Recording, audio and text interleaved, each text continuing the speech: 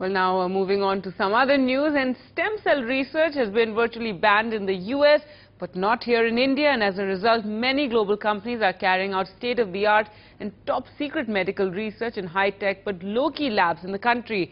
Now, in this world-exclusive, NDTV reveals some path-breaking stem cell research that will change the world we live in, research that will put an end to organ transplants. Soon you could have a full-body transplant.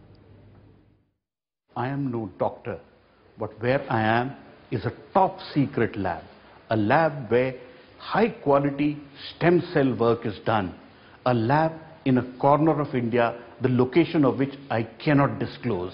It does work which will change the way human beings view themselves. It is a work which is funded by six pharma companies. It is work which will change the way humans view themselves. If you've got a major heart problem or your liver and kidneys are short, these dodgy organs are transplanted from a brain dead person.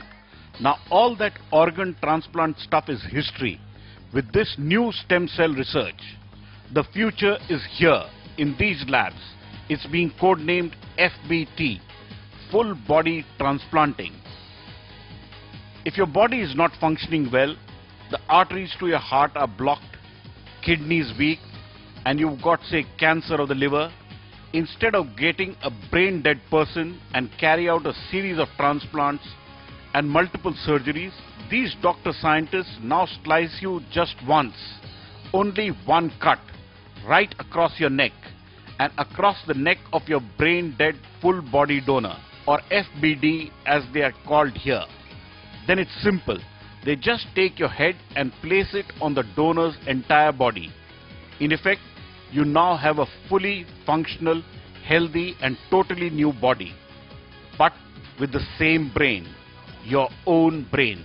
The breakthrough is due to advanced and sophisticated stem cell techniques that for the first time allow us to fuse, that is to join the bodies of two individuals.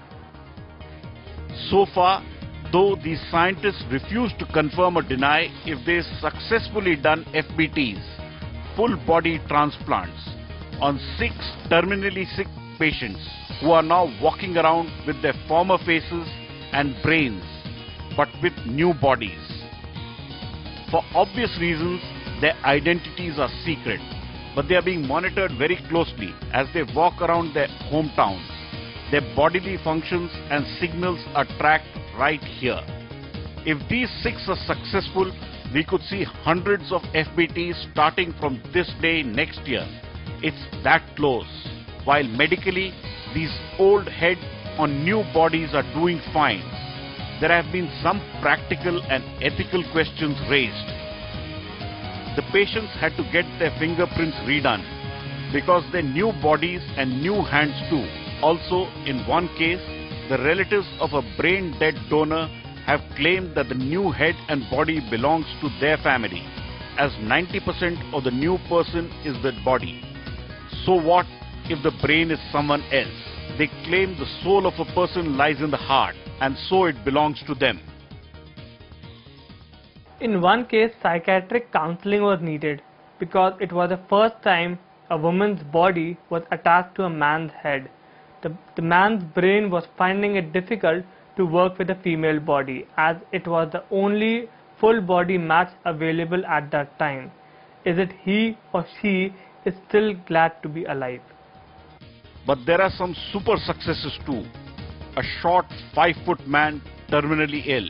He has now got a FBT of a 6 foot athlete and he's thrilled. Also, a 70 year old woman is ecstatic she was lucky to get the body of a 21 year old model who died in a car crash and was a perfect match.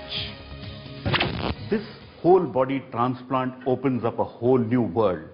It throws up many ethical, religious and philosophical questions.